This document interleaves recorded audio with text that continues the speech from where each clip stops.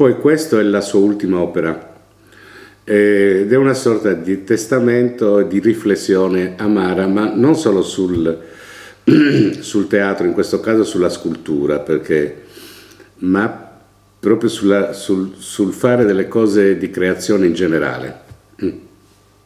La storia è molto semplice. Eh, uno scultore aveva una modella con cui ha fatto un'opera di grande successo, La Risurrezione dove c'era la modella che saliva verso il cielo e eh, partiva da una base terrestre dove c'era la melma e gli uomini un po' contemporanei, un po' bestie con le corna, maiali, mamelle di vacca, dice lui. Cioè, cosa succede? Che nella sua opera ha successo, ma ha successo il piedistallo, lui diventa famoso nel mondo per il piedistallo, non per la resurrezione.